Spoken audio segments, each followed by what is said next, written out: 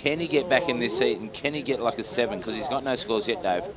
Pat Gudauskas really starting uh, real strong fades with a tons of speed, huge wrap. And take a look at this wall, one big move.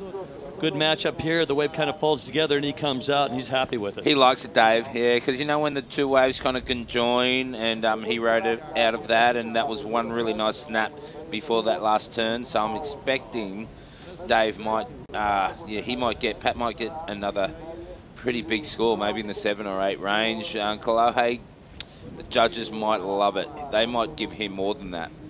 And let's see the replay. Yeah, just off the taps it off the lip right there, and that second turn was beautiful. And straight into this last one.